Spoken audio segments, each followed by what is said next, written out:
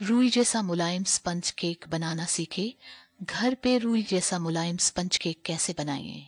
आज मैं आपको बताऊँगी कि स्पंज के जैसा मुलायम केक हम तर कैसे बना सकते हैं। इसे बनाने में हमें ज़्यादा से ज़्यादा थर्टी फाइव फोर्टी मिनट लगेगा और ये बनकर तैयार हो जाएगी। तो चलिए हम केक को बनाना शुरू करते हैं।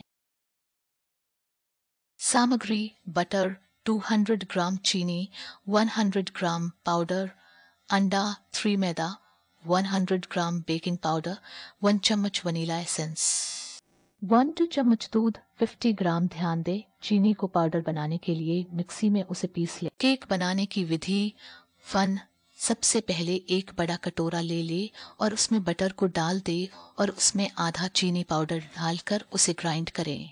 अगर आप सारे चीनी पाउडर एक साथ डालेंगे तो उसे ग्राइंड करने पे परेशानी होती है। दो फिर उसमें बाकी की चीनी डाल दे और उसे फाइव सेवन मिनट तक ग्राइंड करे थ्री फिर उसे इकट्ठा कर ले और उसे फिर से फाइव मिनट तक ग्राइंड करे फोर फिर क्रीम को हम चेक करें कि चीनी अच्छे से मिल गई है या नहीं। अगर नहीं तो उसे थोड़ी देर और ग्राइंड करेंगे फाइव फिर उसमें अंडे को तोड़कर डाल ले और फिर से उसे ग्राइंड करे सिक्स और यहाँ पे आप देख सकते हैं कि धीरे धीरे हमारी क्रीम फैलने लगी है सेवन अब उसमें वनीला एसेंस डाल दे और उसे मिलाए एट अब हम एक दूसरे कटोरे में मैदा ले लेंगे और उसमें बेकिंग पाउडर डालकर मिला दे नाइन फिर हमारे पहले वाले क्रीम में डाल दे और उसे मिलाए टेन फिर उसमें थोड़ा सा दूध को डाल दे और उसे मिला, अच्छे से मिलाए इलेवन फिर हम एक कंटेनर लेंगे और उसमें थोड़ा सा बटर या घी चारों तरफ़ लगा लेंगे ट्वेल्व फिर उसमें थोड़ा सा मैदा डालकर उसे चारों तरफ़ फैला दे।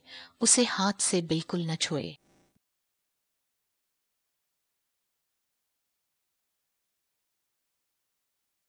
थर्टीन, फिर उसमें बटेर डाल दे और उसे हल्का पटकते हुए बैठा दे।